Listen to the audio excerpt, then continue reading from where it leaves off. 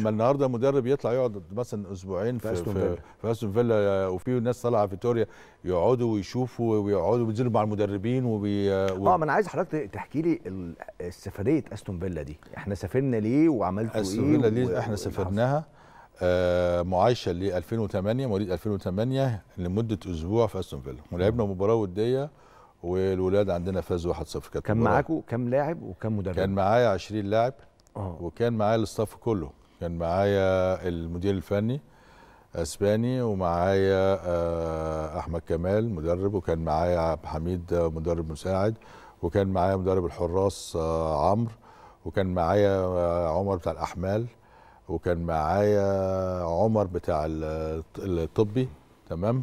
ومعايا الأدمن اللي هو يحيى اللي هو الإداري. كل الناس دي بقى بتستفيد هناك. كله بس في كله بيشوف. آه.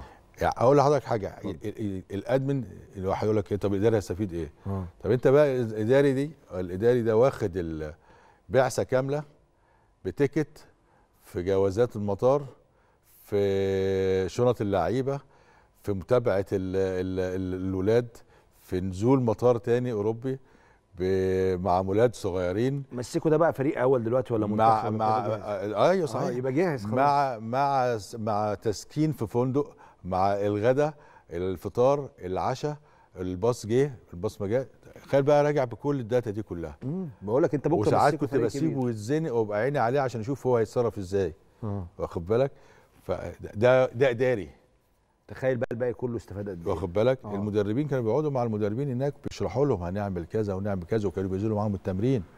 آه. وبيكونوا نشوف تدريبات بيقول لك لا ده الجهاز بتاعك ده في حاجات كويسة قوي قوي اللعيبة اتمرنوا مع بتوع أستون فيلا مرتين تدريب جماعي. طب أنا عايز أسألك تفصيله كمان مهمة جدا.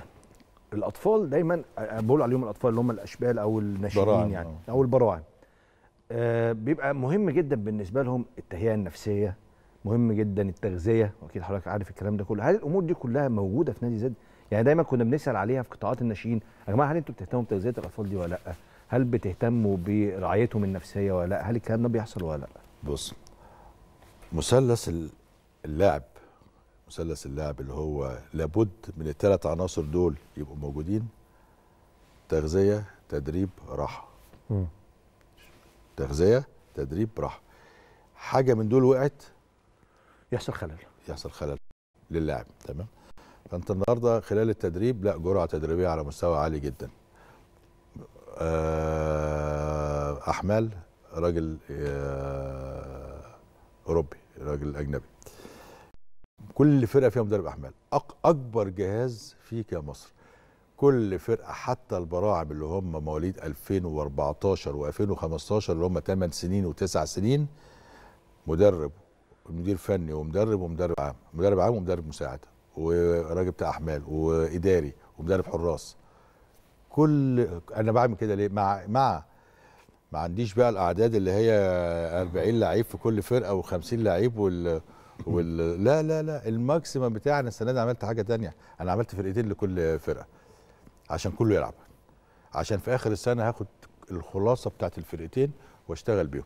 الخ- ال- الخلاصة بتاعت الفرقتين فرقتين 26 لعيب. الله. كل فرقة 13 لعيب. واخد بالك؟ عشان يلعب. وبعدين إيه مش مثلا كل ال- الأقوياء هنا وكل لا لا. بتساوي. عندك هنا اتنين كويسين حط هنا اتنين. كويسين. عندك هنا واحد هنا عشان يبقى فرقتين فرقتين متكافئتين. فهو فكر. تمام؟ ده بالنسبة للاعب